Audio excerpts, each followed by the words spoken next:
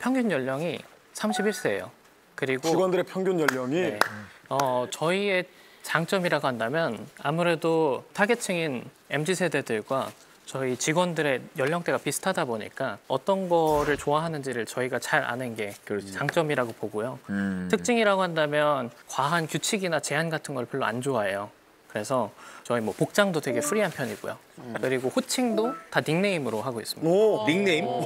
아 제가 님님 하는 건 알고 있거든요. 요즘 기업에서 뭐 지, 네, 서로. 직위를 얘기 안 네, 한다고 네, 그러더라고요. 과장님 이런 거 안 하고 그냥 홍신혜님, 타일러님 이렇게 한다고는 알고 있는데 아예 닉네임으로 닉네임으로 네, 서로 이름을 잘 모르고 나이도 잘 몰라요. 나이도 그래요. 그러면 이문주 대표님도 닉네임이 있어요?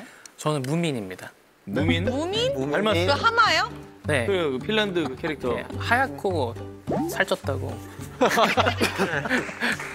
그 무민님 그래요? 네, 무민님이라고 하고요. 무민님. 저희 공동 창업자들은 뭐 감자탕님도 있고요.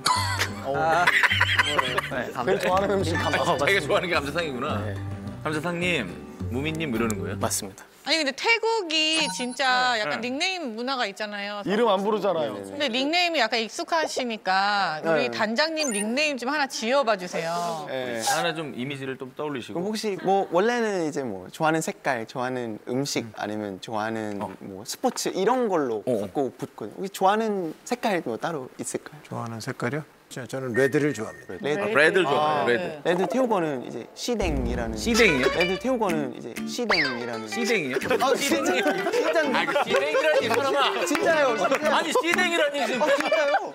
아니 지금 처음 보는 사람인데 시댕. 아니 저 진짜. 아니 잠깐만요. 아 이런 문제는 있군요.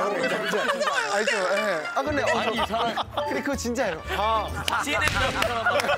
진짜인데? 아니 아 그래 저 진짜예요. 거짓말 아니고. 야 광고가 여기서 끊기네.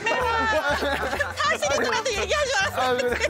야, 그래서 댕 댕이라고 부르면 돼요. 댕. 댕. 아, 그래 댕이라고 하자. 형이면 이제 뭐 댕금. 피댕 이라고 하면 되거든요. 피댕이 왜 피댕? 피가 이제 형이라는 말인데 아, 그럼 그래서 뭐 댕형 하면 이제 피댕이라고 피댕 부르는데 피댕님. 아, 귀엽다. 되게 강력한 이름이고 약간 어. 뭔- 뭔지 알죠?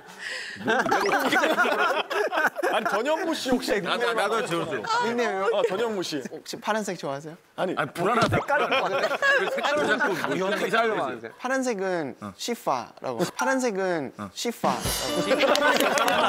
아 진짜 이 빠람이 저 지금. 진짜 이거 진짜 저 맹세 어 시파님. 아 시파님이랑 시댕님하고 시파님하고 지금. 어, 오늘 시댕이 시, 좀 난데요? 시 댕은 귀엽잖아요. 시댕 옷이.